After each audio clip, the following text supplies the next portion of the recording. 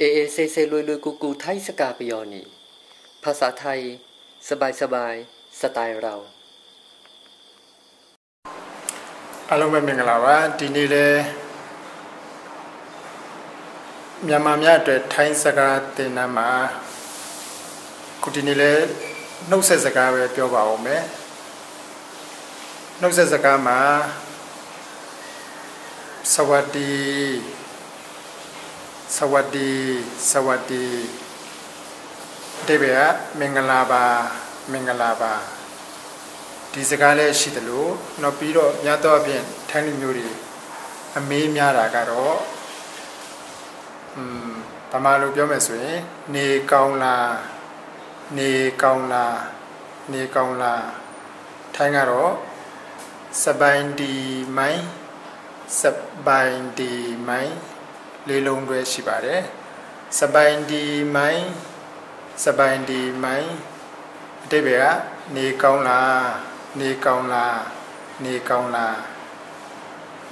စပိုင်ဒီမိုင်းစပိုင်ဒီမိုင်းစပိုင်ဒီမိုင်းအကယ်၍အမျိုးသမီးပြောမယ်ဆိုရင် နောက်ကယဉ်ကျေးတဲ့စကားလုံးလေးထည့်လို့ရပါတယ်ခခအတိပ္ပယ်ကရှင်လို့ထွက်ပါတယ် ရှင်လို့ထွက်ပါတယ်ပြောကြည့်မယ်စပိုင်ဒီမိုင်းခစပိုင်ဒီမိုင်းခစပိုင်ဒီမိုင်းခဒီနေရာမှာတစ်လုံးချင်းရှင်းပြရမယ်ဆိုရင်စပိုင်စပိုင်ဆိုတာဗမာလိုပြောမယ်ဆိုရင်တပ်ပါရလို့အဓိပ္ပာယ်ထွက်မယ်နော်တပ်ပါရဆိုတာဗမာစကားမှာရှိပါတယ်ပါဠိရလာတဲ့စကလုံးပေါ့ တပ်ပယမျှပါသလားပေါ့နော်ဒါအမှတ်လွယ်ဖို့အတွက်မြန်မာစကလုံးနဲ့နှိုင်းရှင်ပြီးပြောကြည့်တာပြောလိုက်တာပါအမှန်တကယ်တော့ဗမာနဲ့ထိုင်းနဲ့ယူဆတာချင်းမတူပါဘူးဒီနေရာမှာထိုင်းကနေကောင်းလားဆိုတဲ့စကလုံးမျိုးနဲ့ယူထားပါတယ်နောက်ပြီးတော့ဒီ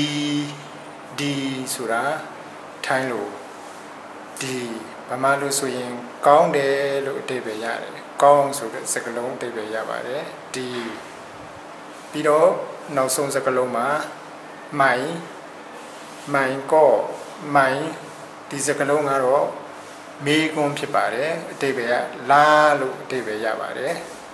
လာလို့အတိပ္ပယ်ရပါတယ်အားလုံးပေါင်းလိုက်ရင်စပိုင်ဒီမိုင်စပိုင်ဒီမိုင်စပိုင်ဒီမိုင်စပိုင်ဒီမိုင်စပိုင်ဒီမိုင် တိပ္ပယ်ကနေကောင်းလားလို့ရပါတယ်ပြီးတော့မြို့သားများပြောမယ်ဆိုရင်တော့နောက်ကရင်ကြီးတဲ့စကားလုံးကြီးထည့်လို့ရပါတယ်ပြောရမှာကခရပ်ခရပ်ခရပ်ဒါမှမဟုတ်ခပ်ခပ်ခပ်ဒီလိုလေးရပါတယ်ဆိုလိုတာကခမညာခမညာလို့အတိပ္ပယ်ရပါတယ်ပြောကြည့်မယ်ဆိုရင်စပိုင်ဒီမိုင်ခရပ် စပိုင်ဒီမိုင်ခရပ်စပိုင်ဒီမိုင်ခပ်စပိုင်ဒီမိုင်ခပ်နေကောင်းလားခမရလို့အတိပ္ပယ်ရပါတယ်ဒီနှမျိုးပြောလို့ရပါတယ်ခရပ်နဲ့ခခပ်သုံးလို့ရပါတယ်မြန်မာစကားနဲ့ထိုင်းစကားတော့တိုက်ရိုက်ပြန်လိုက်ရင်တော့အတိပ္ပယ်တွေကွာခြားမှုရှိပါတယ်သို့တော့သို့တော့ဘာသာပြန်ဒီမှာအတိပ္ပယ်အနည်းဆက်ဆုံးယူရပါလိမ့်မယ်ဒါကတော့နှုတ်ဆက်စကားထိုင်းနေမှာအသုံးများကြတာတွေ ရှိပါတယ်အဲ့ဒါစပိုင်ဒီမိုင်ခါစပိုင်ဒီမိုင်ခရပ်နေကောင်းလားရှင်နေကောင်းလားခမရလို့အတိပ္ပယ်ရပါတယ်အဲ့တော့အဖြေကိုပြောမယ်ဆိုရင်ထိုင်းစကားတွေမှာသုံးဖို့ထိုင်းလူမျိုးတွေရဲ့အချင်းစရိုက်မှာတူတူရှင်းရှင်းလေးတွေပြောကြတာရှိပါတယ်တူတူရှင်းရှင်းလေးတွေပဲသုံးကြတာရှိပါတယ်အဲ့တော့အကယ်၍ကိုကနေကောင်းပါတယ်နေကောင်းပါတယ်ရှင် နေကောင်းပါတယ်ခမားလို့ပြောခြင်းရင်ပြန်ဖြေခြင်းရင်စပိုင်ဒီခစပိုင်ဒီခစပိုင်ဒီခစပိုင်ဒီခတိဘေကနေကောင်းပါတယ်ရှင်နေကောင်းပါတယ်ရှင်နောက်ပြီးတော့အမျိုးသားများတို့ကတော့စပိုင်ဒီခရပ်စပိုင်ဒီခရပ်စပိုင်ဒီခပ်စပိုင်ဒီခပ်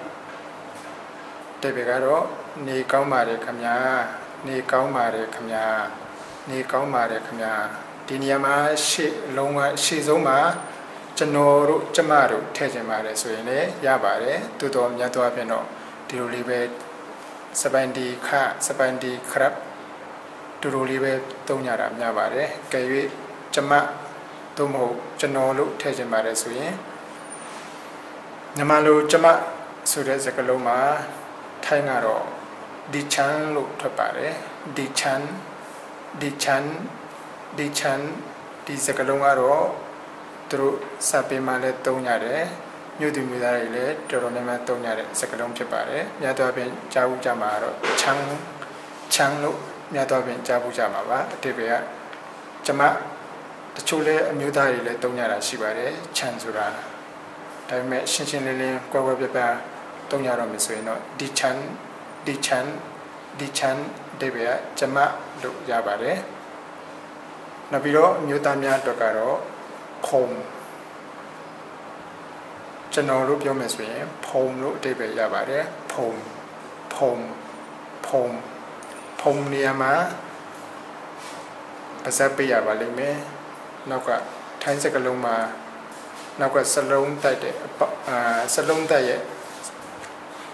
နောက်ကိုစလုံးတက်ရဲ့အတန်ကိုထွက်ရပါတယ်အဲ့တော့ဖုံဖုံလို့ဆိုရင်အတိပ္ပယ်ကကျွန်တော်လို့အတိပ္ပယ်ရပါတယ်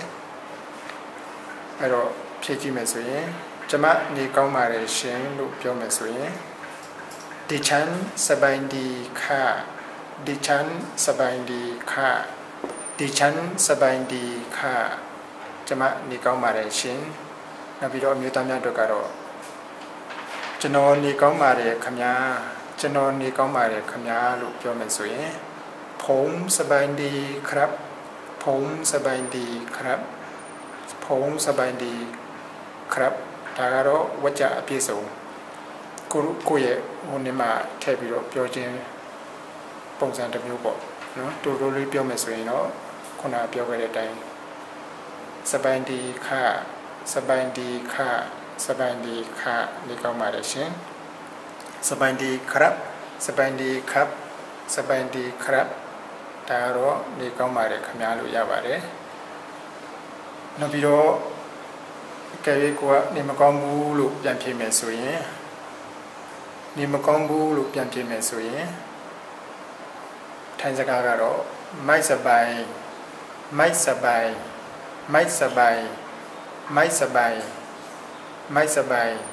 ဒါကတော့နေမကောင်းဘူးလို့အဓိပ္ပာယ်ရပါတယ်ဒီနေရာမှာဗမာစကားမှာမနဲ့ဘူးနဲ့